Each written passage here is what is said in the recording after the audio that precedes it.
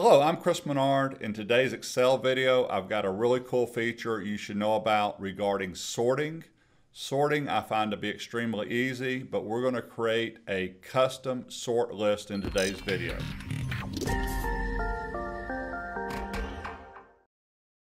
So I have an Excel file already open. I'm going to keep this really simple. If I want to sort by the month that they became a client, I can go to the Data tab, I can right click, I can hit A to Z since I'm in cell G2. It worked. I've got April, August, December, but that's not what I'm looking for. I'm looking for January through December in this example. So data tab, click on sort, month they became a client, cell values. You want to go to your custom list. Right below the word new, there are four options. Those are already set up in Microsoft Excel. So I have a three letter month. If I had the four letter month, I would pick the last one, but I'm gonna pick the three letter month. Click on OK, click on OK. Great, it worked. January, Feb, March, April, on and on. In my example though, our fiscal year is different from the calendar year and I need to sort July to June or October through September. If I'm, I'm gonna do July to June. So find an empty area. It is up to you whether you want to see a uh, month all the way spelled out or just a three letter abbreviation.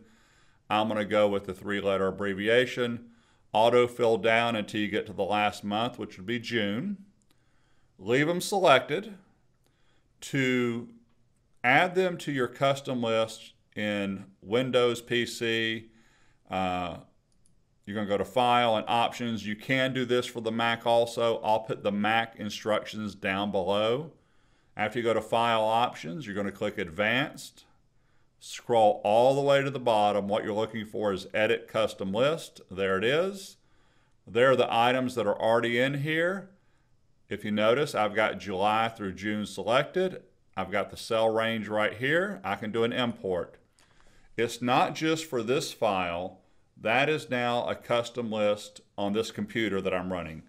So I, any file you send me, I can do this July through June sort. Hit OK, click OK a second time. Delete what you just did, you don't need it. Click back in here, go to sort, drop down, custom list, July, August, September, hit OK, hit OK, and there is July, August, September sorted. It doesn't have to be just months. It can be products. It could be a list of personnel. I'm going to do it with ad source. So here's a bonus tip right now.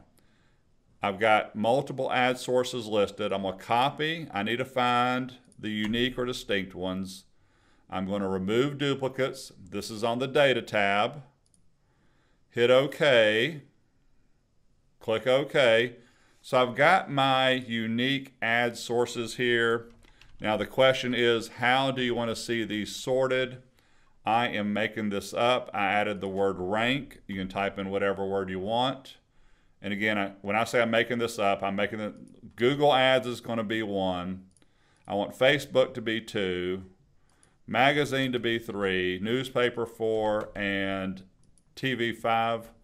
Right click and just do a sort smallest to largest.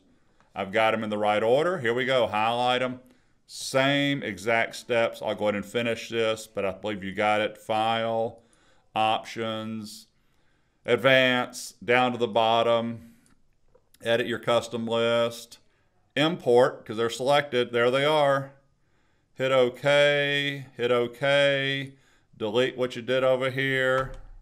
This is really good stuff. Hit sort.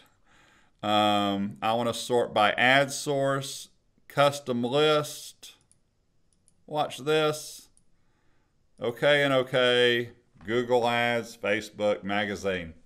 There you go. You should have that as part of your Excel skills because we're always sorting in Excel. Let me know if you like this video. Feel free to comment. Feel free to subscribe. Ring the bell. If you have any questions, put them in the comments down below. I really appreciate your time and I really appreciate your support for my YouTube channel. Thank you so much.